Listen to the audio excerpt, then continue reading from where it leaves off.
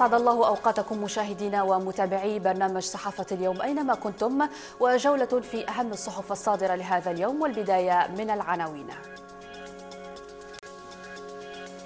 القدس العربية النظام السوري يطلق سراح 14 سجينا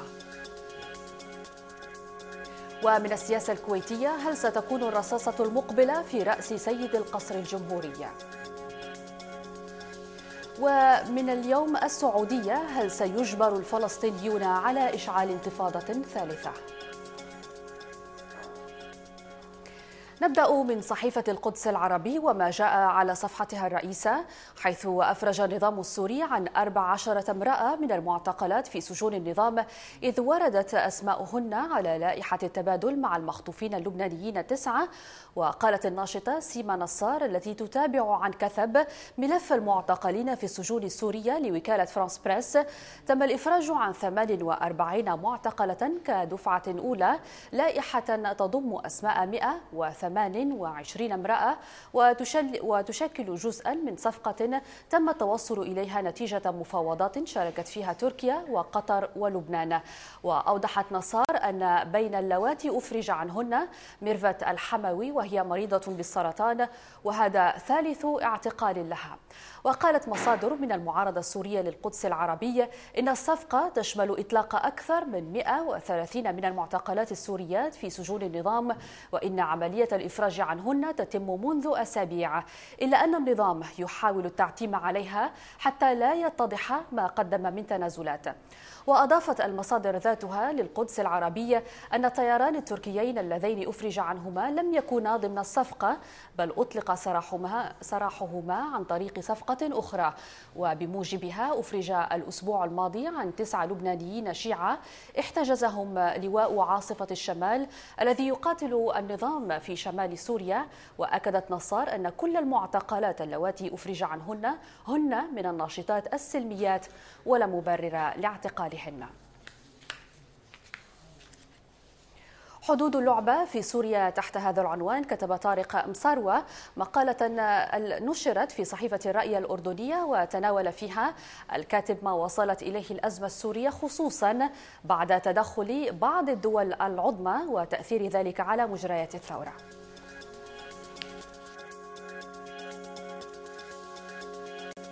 لا يمكن اعتبار تصريحات النظام السوري هي المواقف النهائية من جنيف اثنين لأن السوريين لم يعودوا يملكون مصير وطنهم بعد أن أصبح المصير في يد القوى الإقليمية والدولية. وثانيا لأن التصريحات ليست أكثر من مناورات كلامية أي أن كلام الأسد في مقابلة الميادين لا علاقة له بالحوار مع معارضيه السوريين قبل البدء بالحوار الأصلي وأن كلام أحمد الجربة ليس مطالب نهائية وإنما يستهدف الاثنان آذان جماعتيهما أكثر. الواضح حتى الآن أن واشنطن مستمرة في سيناريوهات التوافق مع موسكو فلا أحد يملك التأثير على أي من العاصمتين. والسيناريوهات كما هو واضح أولها سوري داخلي بإبقاء التوازنات على أرض الصراع دون تغيير يذكر مع ملاحظة أن حالة التفاؤل التي يبيعها الأسد هي حالة موهومة لأن انتصارات أحياء كفر بطن ودارية لا تشكل أي تقدم لنظام غير قابل للحياة. ولعل من المثير للضحك الضحك هذا الذي حاول الأسد بيعه باستعداده للترشح في العام المقبل فلم يسأله بن جدو المدهوش بالرئيس فيما إذا كان ستة ملايين ناخب سينتخبون من الزعتر ومن زواريب المدن اللبنانية ومن مئات آلاف المشردين. أسئلة كثيرة لابد من طرحها قبل متابعة المناورات الكلامية لبشار وأحمد الجربة وسجلات الفضائيات العربية التي تسلي ملايين العرب.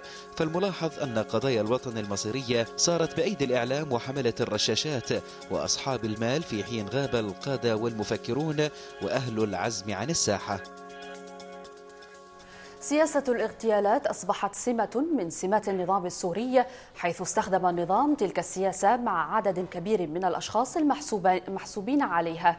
هل ستكون الرصاصة المقبلة في رأس سيد القصر الجمهوري. تحت هذا العنوان كتب داود البصري مقاله الذي نشر في صحيفة السياسة الكويتية. نتابعه. يمثل مصرع اللواء جامع جامع استمرارا لمسلسل طويل من التصفيات والاغتيالات الغامضة التي تدور ضمن أروقة نظام ديكتاتوري هو من أبشع وأشد الأنظمة غموضا وخبرة في عمليات القتل والتصفية للأحباب الذين يتحولون خصوصا بعد انتفاء الحاجة لهم وتحولهم عبئا وحمولة ثقيلة على النظام الذي يضطر للتخلص منها في أول منعطف أو مسار حاد يواجهه طريقه. حدث ذلك مرات عديدة سواء في مقتل الضابط غازي كنعان في قلب وزارة الداخلية أو غيره من الضباط الذين تحملوا مسؤوليات أمنية رفيعة في لبنان وبما تضمنته من فواجع وفضائح اضطرت النظام لتفعيل ماكينتهم المفوية والتخلص منهم وإسدال الستار بالكامل على الملفات الخطيرة التي ينؤون بحملها ومنها ملفات الاغتيال والتصفية الجسدية لزعماء اللبنانيين كالشهيد الحريري مقتل جامع جامع وهو أحد المجرمين الفاعلين لن يكون سوى بداية واضحة لمسلسل طويل مقبل من الاغتيالات. سيشمل قيادات أمنية تمتلك إدارة ملفات ساخنة من أمثال اللواء الاستخباري محمد خير بيك وهو مهندس العلاقة المحرمة والإرهابية مع نظام طهران وعملائه الإقليميين في لبنان والعراق وغيرهما من عتاة إرهابيي سلطة الموت البعثية الأسدية في دمشق. رصاصة في الرأس ستكون الحاسمة في مصير نظام مجرم وعريق في إرهابه. وهذه الرصاصة لا نستبعد أبدا أن تنطلق في رأس سيد القصر الجمهوري. كل الخيارات ممكنة في نظام يزحف على بطنه نحو الجحيم. إلى صحيفة الدستور الأردنية ونقرأ فيها مقالا للكاتب غريب الرنتاوي بعنوان بلاءات الجرب الثلاث. تطرق فيه إلى طريقة تعاطي المعارضة السورية السياسية مع الملفات الحالية وبشكل عام الرؤية التي ينظر إليها القائمون على تلك المعارضة. استحضر السيد أحمد العاصي الجربة رئيس الائتلاف الوطني السوري لاءات الخرطوم الثلاث للتعبير عن موقفه من النظام السوري. لا صلح لا تفاوض ولا اعتراف بهذا النظام ليبني على هذا الموقف شروط مشاركته في مؤتمر جنيف اثنين والتي يمكن تلخيصها بتنحي الأسد وخروجه من مستقبل سوريا. ولست أدري لماذا يظن الجربة بأن مصير لاءاته الثلاث سيكون مختلفا عن المصائر التي انتهت إليها لاءات قمة الخرطوم التي انقلبت جميعها إلى نعمات واندرجت مؤخرا في سياق نظرية التوسل والتسول. فكرة جنيف اثنين كما جنيف واحد تقوم على الاعتراف المتبادل والتفاوض المباشر وصولا إلى الصلح والمصالحة. النظام يعترف بالمعارضة ويقر باستحالة اجتثاثها والمعارضة تعترف بالنظام وتقر بتعذر إسقاطه. فيما كان الجرب في لندن يردد بقوة لاءات الخرطوم. كان نظيره في المجلس الوطني جورج صبرا يقود اعتصاما رمزيا أمام القنصلية الروسية في اسطنبول احتجاجا على الموقف الروسي الداعم للنظام المجرم. مثل هذه المواقف المشحونة بالغضب تعكس إحساس المعارضة السورية بالخيبة والإحباط. وبات مطلوبا منها اليوم أن تنضوي تحت لواء الحل السياسي إن كان هناك من ينبغي أن يلام على الحالة التي آلت إليها المعارضة السورية فهو المعارضة نفسها. يؤسفنا أن نطمئن الجرب وصبر بأنهما سيعترفان ويتفاوضان مع النظام وأن هذا الأمر سيحدث في وقت قريب. فمفاتيح الأزمة السورية باتت اليوم في جيبي بوتين وأوباما لا في جيبهما ولا في جيوب حلفائهما الإقليميين. نقرأ في العرب اللندنية للكاتب عمار ديوب مقالا تحت عنوان المعارضة تتفسخ والنظام يتوهم القوة. تناول فيه ديوب التشتت في المعارضة في ظل غياب دعم دولي واضح للثوار معرجا على فشل النظام في تحقيق أي انتصار جديد على أرض المعركة. شكل الموقف الروسي والإيراني والميليشيات الطائفية الداعمة للنظام قوة تماسكه ومانع تفككه بينما شكل صراع القوى الداعمة للائتلاف الوطني وقوة عامل الخلل الفعلي في هشاشة المعارضة وتفككها. فالمعارضة لعبت أسوأ الأدوار في إدارة الثورة لتنتهي بها المعركة إلى دور سلبي لا يمتلك أي مشروع أو رؤية مستقلة عن الخارج وبالتالي هذه المعارضة ضعيفة ورديئة ولا تملك أي برنامج وهو ما يسهل عملية السيطرة عليها من الخارج ويقوي الجماعات الجهادية كثيرا. وطبعا يستفيد النظام من كل ذلك حيث الكتائب فاقدة للبوصلة ولا تعلم ماذا تفعل وبالتالي تفقد مناطق جديدة. الإخوان قاتلوا جنيف وبقية أطراف المعارضة أكثر من النظام. والهيئة تقاتل الائتلاف أكثر من النظام والائتلاف كذلك لا يرى بقية القوى السياسية ويطلب الرحمة من الغرب ويشعر بالخذلان ودخل بدوامة التفتت الداخلي ولكن قدرة النظام على الاستفادة من تفسخ المعارضة ليست كبيرة فهو لن يستطيع استرجاع أماكن كثيرة والمعارضة لن تستطيع حسم المعركة ولن تتجاوز مشكلاتها أبدا وبالتالي ما الحل؟ وكذلك هل من حل؟ حل لا حل في سوريا. اتخذ الكاتب فولكر بيرتيز هذا عنوانا لمقاله الذي نشر في صحيفة العرب القطرية وسلط الضوء من خلاله على تبعات الخطة الروسية الأمريكية لتفكيك الترسانة الكيماوية. إن الخطة الروسية الأمريكية لإزالة الأسلحة الكيماوية السورية قد تفتح مجالا أكثر إيجابية لإنهاء الأزمة في البلاد لأن مجلس الأمن يطالب أيضا بعقد مؤتمر جنيف الثاني الذي طال التخطيط له. فمن الناحية العملية لا يمكن تنفيذ الجهود الرامية إلى التحقيق من المخزون الضخم من الأسلحة الكيماوية لدى سوريا وتأمينها ثم تدميرها في نهاية المطاف من دون التوصل على الأقل إلى اتفاق دائم لوقف إطلاق النار. ومن المؤكد أن أسباب التشاؤم عديدة بشأن استعداد الأطراف في سوريا للانخراط في مفاوضات جادة والحق أن لا أحد لا روسيا ولا أمريكا ولا إيران أو غير ذلك من الرعاة الخارجيين يستطيع أن يضمن نجاح مؤتمر جنيف الثاني ولكن كل هذه الأطراف قادرة على تحسين شروط التفاوض من خلال إرسال نفس الإشارة إلى كل الأطراف السورية وبالتالي فيتعين على روسيا وإيران إبلاغ الأسد أنهما لن تدعما جهوده الساعية إلى تحقيق نصر عسكرية وينبغي للولايات المتحدة وتركيا وغيرها أن تبلغ الائتلاف الوطني السوري بأنه لن يفوز في ساحة المعركة ولابد أن تكون الرسالة إلى كل هذه المجموعات متسقة. سوف نستمر في دعمكم سياسيا وماليا وفي المفاوضات مع النظام السوري ولكننا لن ندعم أي حل عسكري بعد الآن. وهذا من شأنه أن يعمل كحافز قوي لدفع جميع الأطراف إلى الذهاب إلى مؤتمر جنيف. فلن تبدأ الأطراف المتحاربة التفاوض الجاد إلا إذا أيقنت أن البدائل الأخرى أصبحت مستحيلة.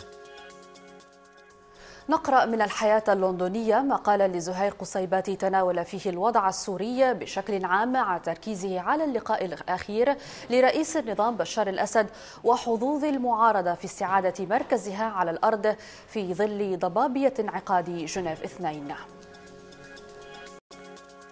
كان واضحا منذ وقت مبكر أن النظام في دمشق سيحاول الاستثمار في شهادات حسن التعاون التي تمنحه إياها أطراف دولية في ملف تدمير ترسانته الكيماوية وهو يستثمرها بالتأكيد في محو كارثة الهجوم الكيماوي على الغوطة واستعادة معنوياته لتدمير ما تبقى من تماسك في صفوف المقاتلين المعارضين ليطرح السؤال عمن يمثل المعارضة في مؤتمر جنيف اثنين.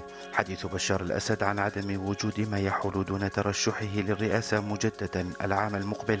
عزز هواجس المعارضين إزاء احتمالات بيع العواصم الكبرى للثورة. بهذا التصور يترك النظام ليستعيد هيمنته على الداخل ويقضم المزيد من المناطق التي سقطت في قبضة الثوار. وبهذا التصور أيضا تترك المعارضة لمصيرها بين فكي نظام لا يأبه لثمن القتال وكتائب إسلامية مدججة بأسلحة التطرف والتكفير وتأليب كل الأقليات على الثورة أو ما يبقى منها يستمر القتل في سوريا ولكن بالنية الحسنة لدى الإبراهيمي وكيري وحتى لدى زعيم الكرملين فلاديمير بوتين المتفائل بنجاح في التحضير لجنيف اثنين. ولمناقشة أبرز ما ورد في الصحف الصادرة اليوم ينضم إلينا هنا في الاستوديو الكاتب الصحفي إسلام أبو شكير.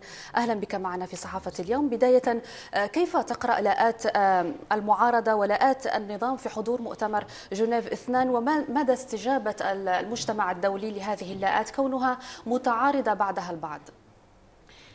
الآن طبعا يعني لا جديد في الموضوع. يعني هذا نعم. التجاذب ما بين النظام من جهة وما بين المعارضة من جهة أخرى هذا التجاذب يعني يمكن تلمسه منذ الأيام الأولى للثورة. نحن أمام صراع بين طرفين وهو صراع الحقيقة صراع يقوم على الوجود من أجل الوجود. كل لا يمكن وصلنا إلى قناعة إلى أنه لا يمكن التوفيق بين رغبات النظام من جهة ورغبات الشعب من جهة أخرى.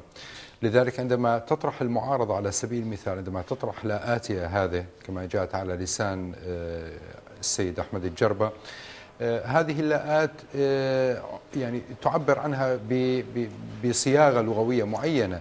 لكن على أرض الواقع نحن أيضا نتحدث عن رغبات للشعب السوري في أن يتخلص من عهود طويلة من الاستبداد ومن القمع ومن العزلة أيضا ومن التهميش، نحن بحاجة إلى سوريا جديدة يستعيد فيها هذا الشعب دوره، يستعيد فيها إرادته وحريته وكرامته. إذا كانت هذه اللاءات قد طرحت بهذا الشكل فلأنها في الحقيقة تعبر يعني في النهاية تعبر عن إرادة الشعب نعم. السوري نعم. طالما المجتمع الدولي متحمس لمؤتمر جنيف اثنان هل برأيك هناك طرف معين يستطيع وضع ضمانات لنجاح هذا المؤتمر؟ الآن نحن يعني عندما ننظر إلى مؤتمر جنيف مؤتمر جنيف لم ينعقد حتى الآن بل حتى الآن لم يتم حسم فيما إذا كان سينعقد أم لا نعم. وإذا كان سينعقد في أي موعد بالضبط الأمور ما زالت آه، يعني في طور الأخذ والرد وما زالت في طور البحث والنقاش والجدل على أي حال من السابق لأوانه القول إن هذا المؤتمر سيتمخض عن نتائج من شأنها أن أن أن تخرج الأزمة من عنق الزجاجة. نعم. آه، طالما أننا لا لا يعني لا نتلمس آه، منهجا واضحا أو رؤية واضحة. حتى الآن الجميع آه، لا يملكون تصورا عما يمكن أن يحدث في جنيف اثنين.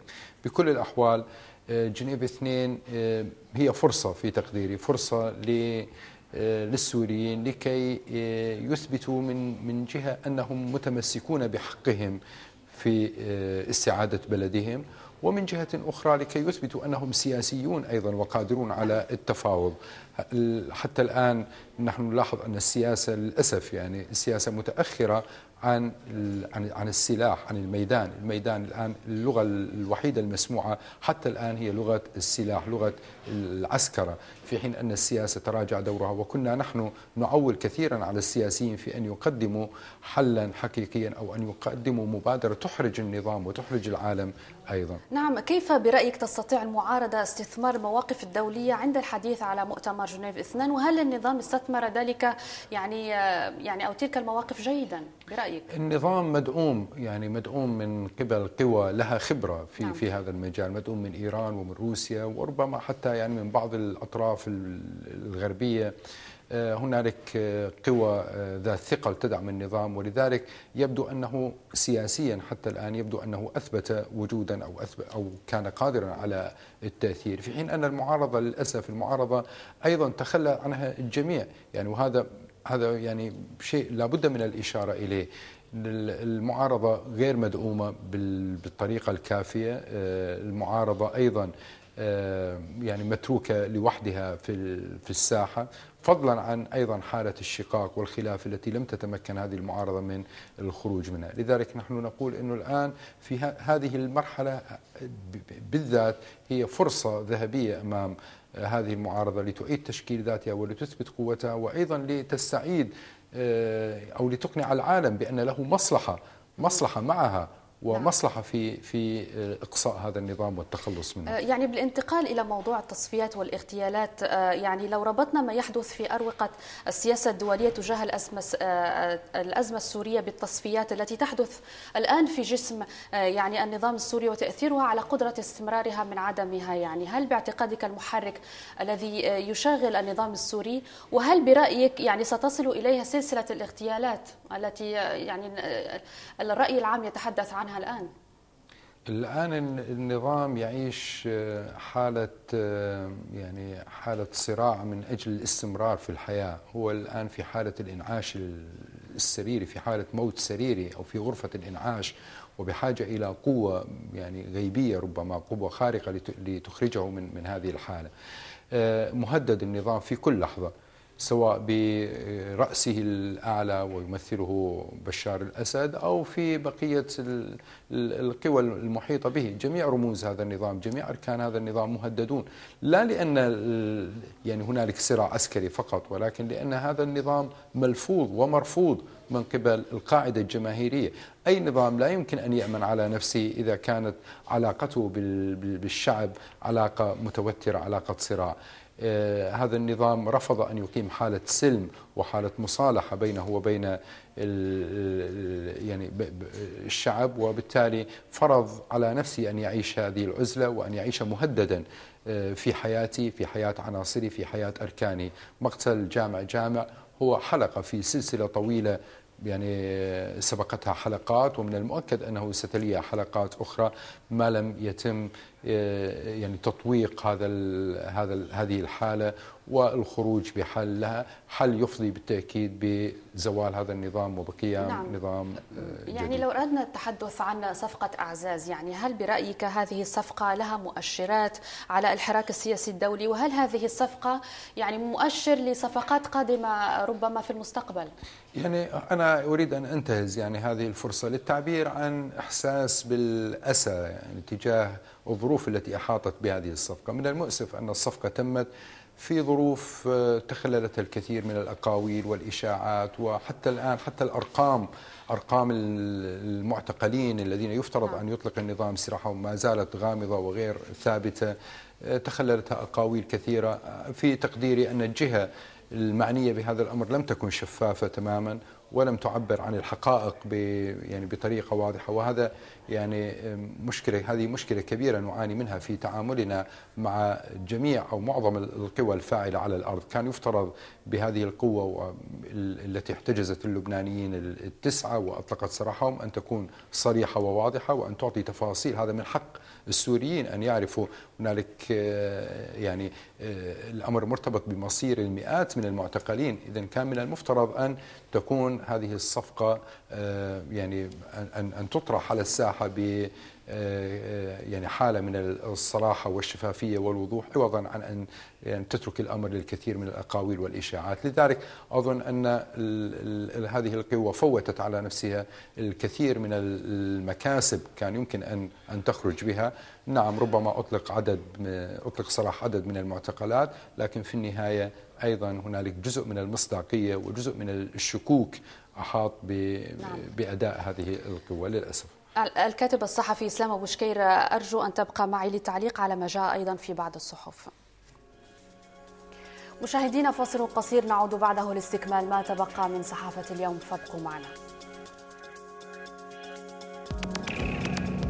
سمح للأسد أن يفلت دون أي عقاب. مضيفا أنه بدلا من أن يشعر الأسد بالذعر جراء ما حدث نجده حاليا يبدو واثقا بنفسه.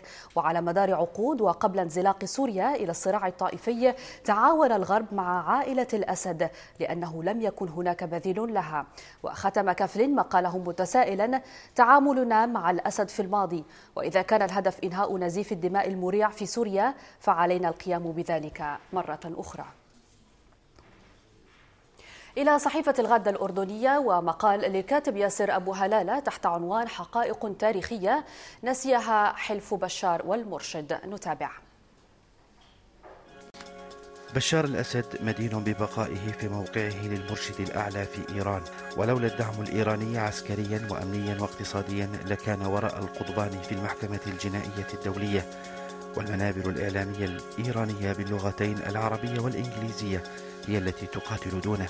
ومن خلالها يمكن معرفة أخبار النظام ومواقفه أكثر من وسائل الإعلام السورية.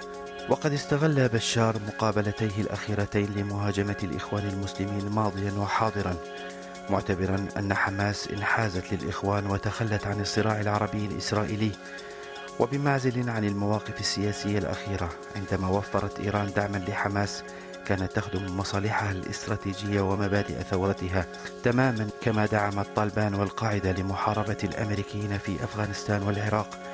ودعمهما لحماس يخضع لحساب طائفي ولا يقارن بدعمهما لحزب الله. ثمة حقائق أخرى لا يتسع لها مقال واحد لكن الحقيقة الأخيرة هنا هي أن كل نضالات حماس كانت ستنتهي.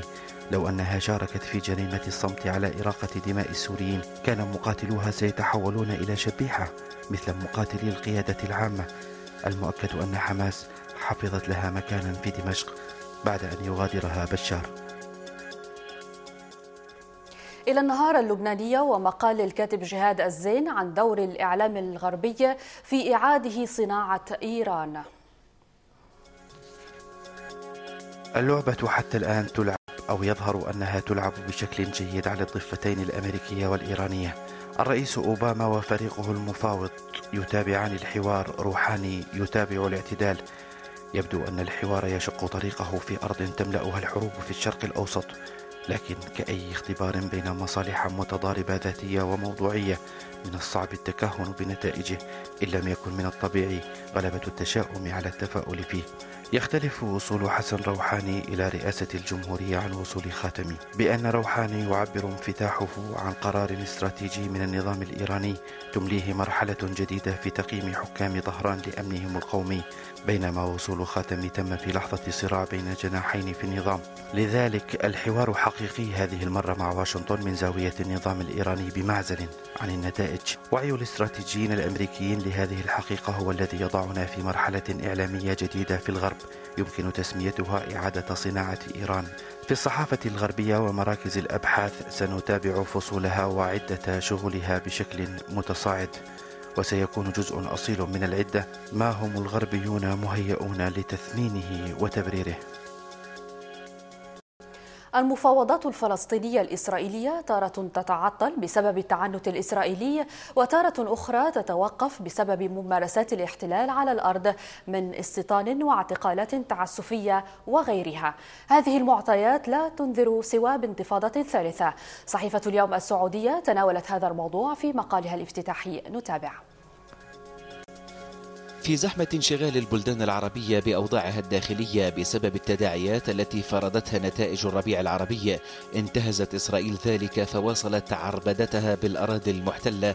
اجتياح للمدن والبلدات الفلسطينية واستمرار للمواجهات والاعتقالات بالضفة ومواصلة لحصار قطاع غزة وتوغل جيش الاحتلال فيه وعندما يتصدى الفلسطينيون بصدورهم العارية للاحتلال يواجهون بالرصاص الحي ويجري توصيف مقاومة الشعب الأعزل بالإرهاب. ذلك بالدقة هو ما ذكره بنيامين نتنياهو عن تصاعد النشاطات الإرهابية الفلسطينية بالأيام الأخيرة. الحديث عن إمكانية اندلاع انتفاضة فلسطينية ثالثة أصبح مألوفا في الصحف الإسرائيلية. فالمراسل العسكري لصحيفة يدعوت أحرونوت أشار إلى أن رجال الأمن الإسرائيلي يبحثون عن أدلة على هبة شعبية بالضفة ويرجح آخرون مقاومة الفلسطينيين للإحتلال باعتباره نتاجا لضعف ردع قوات الأمن الفلسطينية.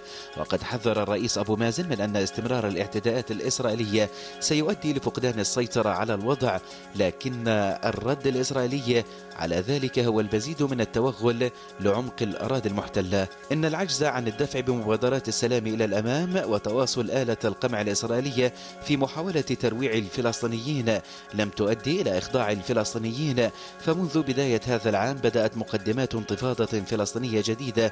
يبدو أن أرض السلام حبلى بنهوض شعبي يعيد الاعتبار لعروبة القدس ولحق الشعب الفلسطيني في تقرير المصير وإقامة دولته المستقلة فوق أراضيه. ويلحق الهزيمة بالمشروع الصهيوني وليس علينا سوى الانتظار. بالعودة إلى ضيفنا هنا في الاستوديو الكاتب الصحفي إسلام أبو شكير. أهلا بك من جديد. يعني الغرب يقول أن الحوار مع الأسد أمر حتمي. هل تتفق مع هذا الرأي؟ هو ليس مهما ما الذي يقوله الغرب. الغرب الآن يعني حتى الآن يصرح أن الأسد لم يعد رئيسا شرعيا فقد شرعيته وأنه لا مستقبل للأسد. نعم. هذا من حيث التصريحات على ألسنة المسؤولين. لكن من حيث الواقع من حيث الممارسة نجد أن الأمر على نقيض ذلك تماما. هنالك تواصل مع الأسد هنالك فرص يعطيها الغرب للأسد. فرصة تلو الفرصة وآخر هذه الفرصة يعني التي لا يمكن تقبلها بأي معيار أخلاقي أو, أو إنساني عندما تسبب الأسد بموت الآلاف من البشر خلال ساعات ومع ذلك يعني أفلت من العقاب. إذا يعني يبدو لي أن الغرب يعني إما أنه منافق في هذا الموضوع وإما أنه يبحث عن صيغة معينة آه، يمكن أن يتخلص بها من الأسد ولكن دون خسائر يعني كبيرة تلحق به لأنه من المعلوم أن أن وجود الأسد حتى هذه اللحظة يؤمن للغرب بعض المصالح ويبدو أن الغرب لا يريد أن يفقد هذه المصالح يعني برأيك ما, ما الذي يمكن أن تقدمه إيران للأسد في الفترة القادمة؟ الأسد لم يبقى له في الواقع سوى إيران. يعني حلفاؤه الآخرون هم نعم. حلفاء انتهازيون في النهاية. يعني سقوط الأسد لا يعني سقوطهم. في حين أن أن سقوط الأسد يعني سقوط إيران سقوط المشروع الإيراني. إيران منذ يعني عشرات السنوات وهي تغذي هذا هذا النظام ولكي يكون يعني امتدادا مستقبليا أو قاعدة مستقبلية لتمدد هذا المشروع الطموح لإيران في نعم. امتلاك المنطقة والهيمنة عليها، لذلك عندما آه، تخسر إيران عندما تخسر سوريا ستخسر ذاتها، تخسر مشروعها الذي أنفقت عليه الغالي، لم تنفق عليه مالا فقط، أنفقت عليه دما أيضا. نعم. آه، لذلك إيران آه، مستعدة لأن تقدم كل شيء للنظام. نعم. ولديها ما, ما يمكن أن تقدمه فعلا ومن هذا الباب نحن نؤكد أن التعامل مع الموضوع السوري يتعلق بالنظام السوري من جهة وبالجانب الإيراني من جهة أخرى، لا يمكن أن أن نعزل المستقبل أو نتصور مستقبل هذا النظام بعيدا عن مستقبل إيران. يعني هل برأيك يعني يجرى آه، إعادة آه، صناعة إيران في الغرب؟ أنا لا أظن أن إيران يعني المسألة متوقفة عما إذا كانت إيران لديها الاستعداد لأن تغير جلدها وأن تعيد إنتاج ذاتها من جديد إيران لا, لا أظن أن الأمر على هذا النحو. ربما كانت كان العالم يأمل في أن يقدم سياسة جديدة يحتوي إيران من خلالها. نعم. هو تبع سياسة العقوبات وتبع سياسة الضغط والعزل وال آه، يعني العقوبات الاقتصادية وغيرها. وإيران يعني ظلت مستمرة وما زالت تتقدم في مشروعها. ربما كان العالم يفكر في اتباع منهج آخر طريقة تعامل مختلفة مع إيران طمعا في استيعابها. لكن أن تتغير إيران تحت أي ظرف من الظروف هذا الأمر أظن أنه بعيد جدا. نعم أين إسرائيل من سوريا؟ وكيف ستتعامل مع الملف السوري إذا ما يعني أجير الفلسطينيون على انتفاضة ثالثة؟ فيما يتصل بإسرائيل من المعلوم وهذا الأمر أصبح واضحا أن إسرائيل آه، يعني كانت مطمئنة إلى وجود نظام الأسد عبر أربعين عاما. هذا النظام خدمها كثيرا آه، أمن لها جبهة هادئة لم تكن تحلم بها. لذلك الآن غياب الأسد عن عن الساحة ربما يعني يجبر إسرائيل على أن تعيد حساباتها. ولذلك تبدو إسرائيل حذرة كثيرا في التعاطي مع خصوم الأسد. نعم. يعني في التعاطي مع مع أي سيناريو آخر محتمل آه، تنقلب فيه يعني الموازين ويتغير تتغير واجهة النظام إيران آه، إسرائيل بالتأكيد آه، قلقة من من المستقبل فيما يتصل بالانتفاضة الثالثة إسرائيل أيضا تخشى من من انتفاضات الشعوب. هي لا تخشى من أي ضربة عسكرية لا تخشى من أي حراك سياسي. ما تخشاه عمليا وواقعيا هو الإرادة الشعبية عندما تتحرك. فقط آخر سؤال سيد إسلام يعني ما مصير المفاوضات الإسرائيلية الفلسطينية الآن؟ الآن يعني أنا في تقديري أن المفاوضات حتى الآن المفاوضات مستمرة منذ 20 أو 30 عام هنالك مفاوضات مع إسرائيل ولكن هذه المفاوضات لم تؤدي إلى أي آه، نتيجة آه، ترضي الإسرائيليين من جهة وترضي الفلسطينيين من جهة وبالذات الفلسطينيين الفلسطينيين هم الخاسرون عمليا من المفاوضات نعم. لذلك يعني إن لم تكن هنالك آه، صيغة أيضا مختلفة تماما وطريقة تفاوض وأسس مختلفة كليا للتفاوض إذا تم الأمر أو استمر الأمر على ما كان عليه لا أظن أننا آه، سنكون بصدد نتائج مختلفة. الكاتب الصحفي إسلام أبو شكير آه، كنت قد علقت على أبرز ما أوردته صحف اليوم. شكرا جزيلا لك. شكرا. مشاهدينا فصل قصير. نعود بعده لاستكمال ما تبقى من صحافة اليوم. فابقوا معنا.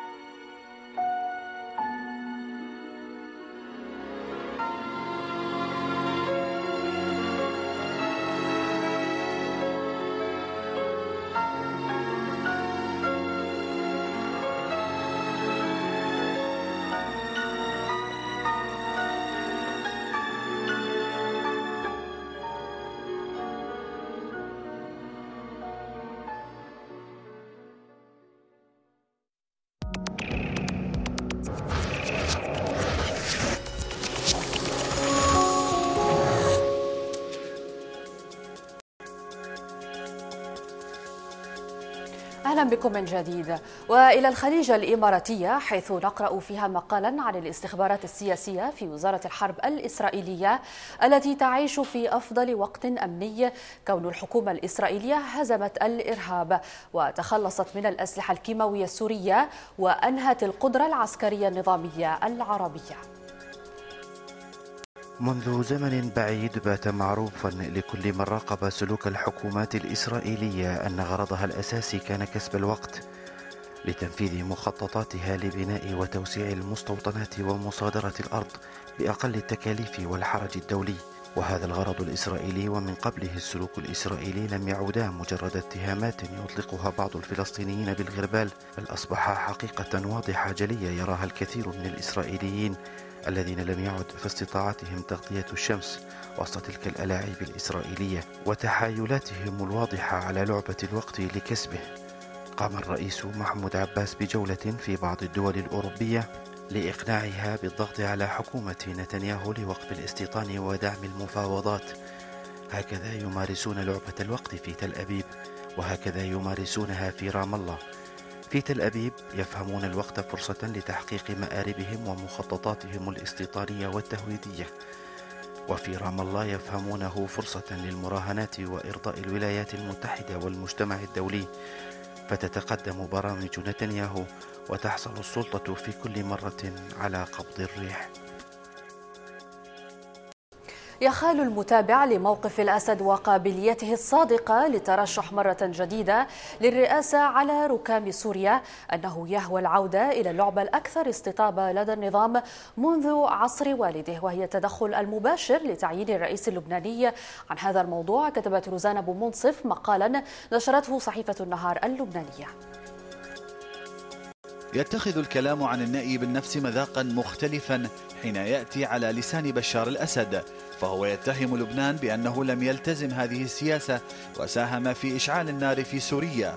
وطبعا يتهم خصومه ويتجاهل التورط الإنقاذي لحزب الله الذي مكنه من الصمود حتى الآن.